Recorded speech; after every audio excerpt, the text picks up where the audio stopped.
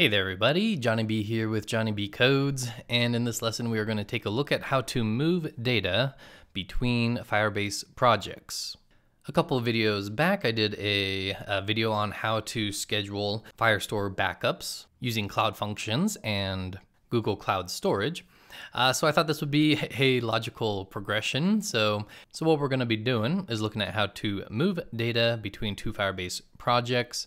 I have two projects here. These are the projects that I'm using for uh, for one of my courses. We have the Bon Voyage project and it has some files and some Cloud Firestore data. Got a number of documents in this vacations collection. And then we have the uh, Bon Voyage-dev, which has uh, nothing in its Firestore. So if we take a look at this, uh, move data between projects, it's at this URL here, Firestore slash manage data, move data. Uh, you can just search for Firestore move data between projects and you'll find this.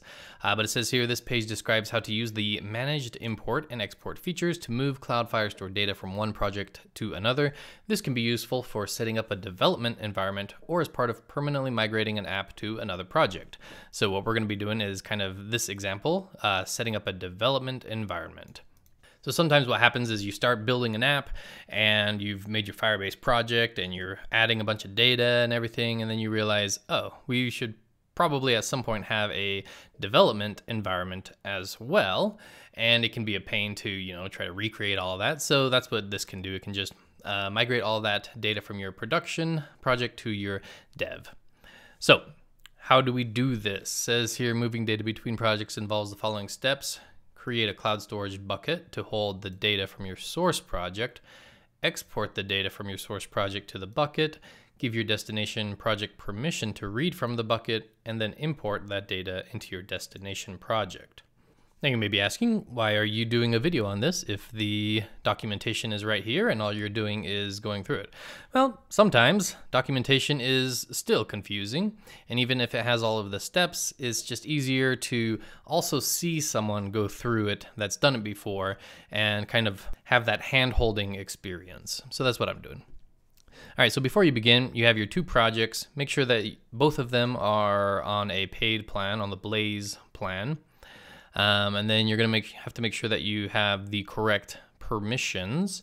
Um, the way that I'm doing it here is, and the easiest way is if you're an owner of both of the Firebase projects.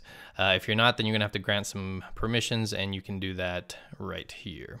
Then it says here, we're gonna set up our gcloud command line tool and we're just gonna use the cloud shell. So go ahead and click right here. Make sure that you are in your correct Google account that you expect for this Firebase project and say start Cloud Shell. All right, so that should take you to uh, this part right here.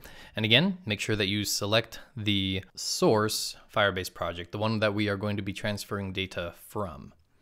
And then also check down here that the Firebase IDs match. So I have this one right here and then this project ID here so they match. If they don't, then you can use this uh, command right here, gcloud config set project and then the project ID. All right, so we got the gcloud config set up. So let's see what the next step is. Export data from the source project. So we're going to export your data by creating a cloud storage bucket for your Cloud Firestore export files and starting an export operation.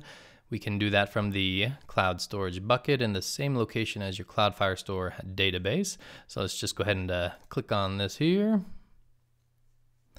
And we can create a storage bucket via the console. Pretty easy. We just click here. And then we can click on create bucket. Again, make sure you're in the correct project and we have to pick a globally unique permanent name, okay?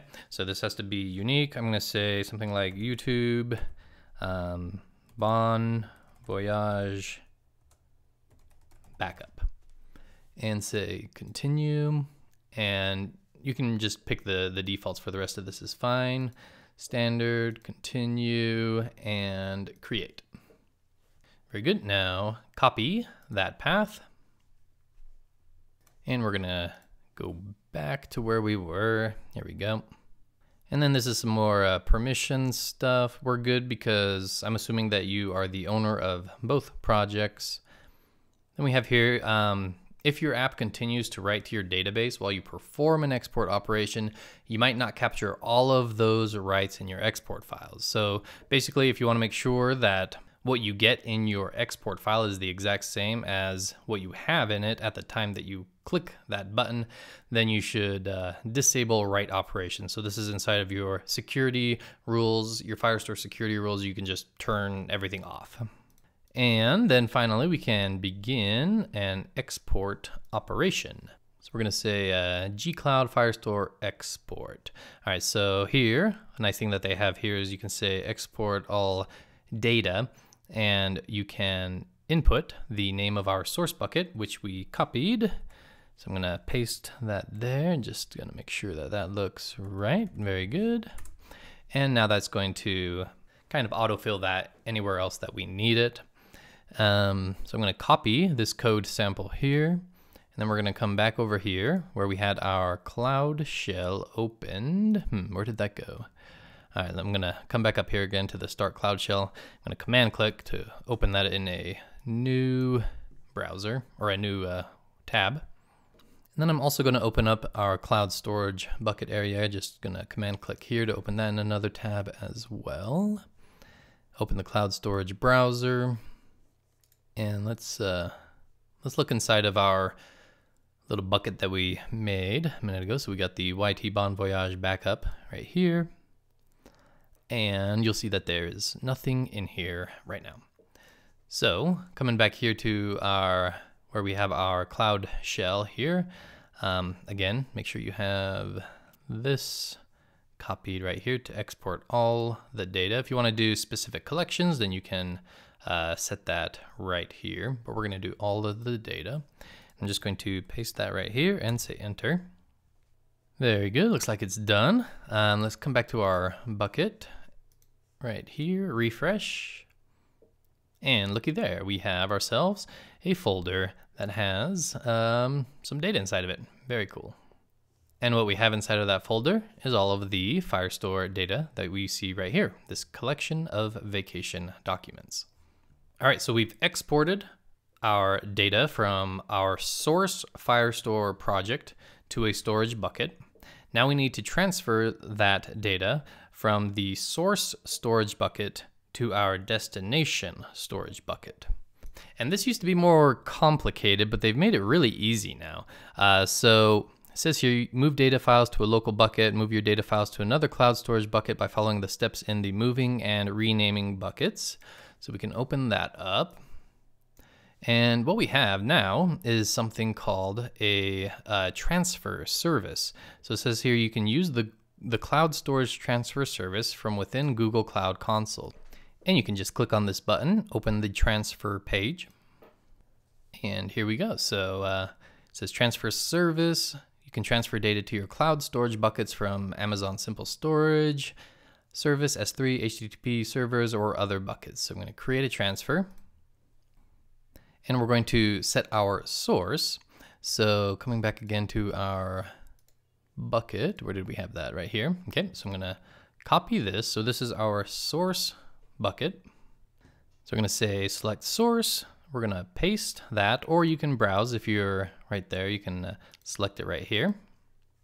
Say select, and then our destination. And I think this is where a lot of people get tripped up here, is because you might not realize that since these names are globally unique, you can just write it out right here. Some most people will they'll click here and they'll be like, I I do not see the bucket that I want to transfer it to. And actually, we haven't created the the bucket for the, our destination, so we need to do that first. So you can leave this as is, but we're going to come over here to our creating storage buckets that we that we were looking at, and we're going to open cloud storage browser again. And this time we're going to go to our destination project. Um, so the dev environment for, for myself, I'm gonna select that. And then we're gonna create a new bucket. And I'm gonna give this the name of YouTube dash bon voyage dev transfer, I don't know. Um, and then we're gonna copy that and say continue, continue, continue, continue, and create. So now we have a bucket in our destination. So come back to your transfer tab and just paste that name of the destination storage bucket that we just created. And then you have some options down here. You can overwrite the destination with source, delete objects from the source when they are transferred, delete object from destination if there's no version in source. Um, I'm not gonna check any of those. And we're gonna say continue. And we're going to say run now and create. And this will just take a minute and then it'll, uh, once it's completed, it'll show the status as completed. So now we don't have, we don't have the data in our Firestore database yet, right? All we've done is move data from one storage bucket to another storage bucket. Now we need to import the data in the storage bucket into our dev Cloud Firestore database. So let's see what we need to do for that. Here it says begin an import operation. And you'll see here that this is the source storage bucket name. We want the destination storage bucket to be here. So we're going to replace that with what we have here. Copy this, come back here, click and paste.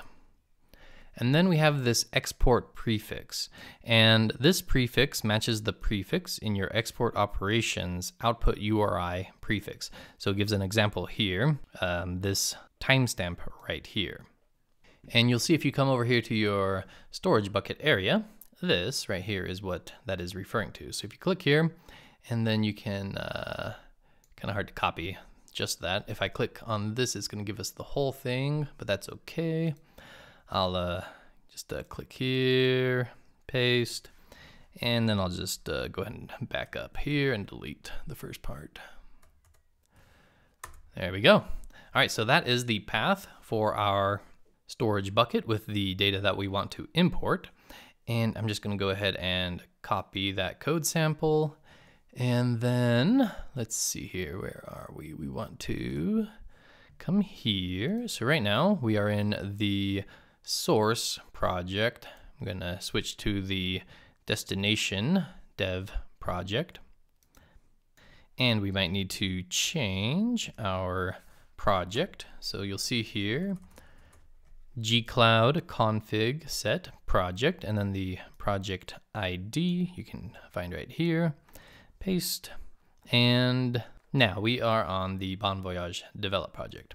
And now we can go ahead and paste this line of code right here to actually execute the Firestore import from the backup that we got from the storage bucket in the source project. So I'm gonna copy that code sample and come back over here and just paste that in and run it. And we got an error. It says permission denied. Service account does not have access to Google Cloud storage file Oh, okay. I think I think I got the wrong storage bucket right here. YT Bon Voyage backup. Yes. Okay, sorry. This is the one that we want. The YT Bon Voyage dev transfer. Copy that. Come back over here and we'll go ahead and paste that here.